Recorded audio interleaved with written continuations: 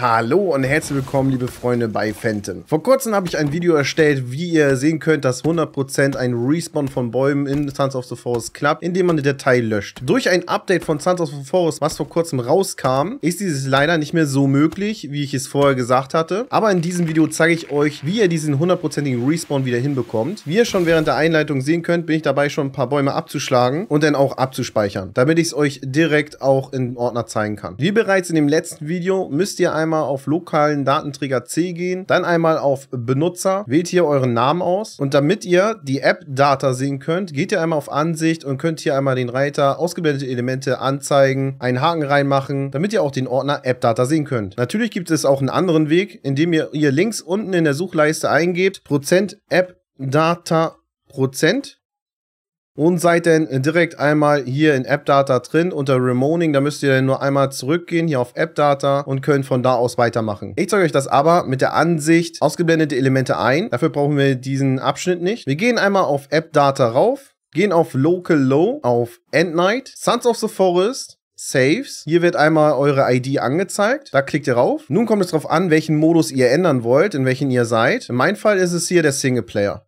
Wie ihr sehen könnt, hat Sons of the Forest jetzt ein Backup-System eingeführt, weshalb diese Dateien angezeigt werden. Das macht aber nichts, denn es ist einfach trotzdem die Datei zu löschen und den hundertprozentigen Respawn der Bäume wieder zu haben. Dafür geht ihr auf die neueste Datei vom Backup, drückt Doppelklick rauf, drückt OK. Nun seht ihr die gleiche Save-Datei mit den gleichen drei Ziffern am Ende. Diese nehmt ihr einmal, könnt sie ausschneiden. Wenn ihr euch unsicher sein solltet bei irgendeinem Schritt, nehmt gerne einen Ordner auf euren Desktop und kopiert die Datei rein. In diesem Fall bin ich mir zu 100% sicher, dass es klappt, denn ich habe im Vorwege bereits ein bisschen rumprobiert und das getestet getestet. Nun geht ihr einmal zurück, drückt einmal Rechtsklick hier in den Ordner, drückt auf Einfügen, drückt dann auf Datei im Ziel ersetzen. Wartet kurz einen Moment. Nun wurde die Datei überschrieben, weil es die gleiche Save-Datei ist, wie auch bei den Backups. Hier könnt ihr einmal bei der Datei, die ihr überschrieben habt, einmal Doppelklick drauf machen. Ganz unten Word Object Locator Manager Save Data nehmen und diese löschen.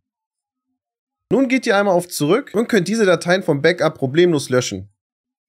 Wenn ihr nun versucht, Sons of the Force zu starten, werdet ihr diese Message bekommen. Wir wollen nicht aus dem Cloud-Speicher starten, sondern aus dem lokalen Speicherstand, damit die Datei genommen wird, die wir eben überarbeitet haben. Da klickt ihr rauf, geht auf Weiter und das Spiel startet. Im Spiel angekommen, starten wir einmal den Speicherstand.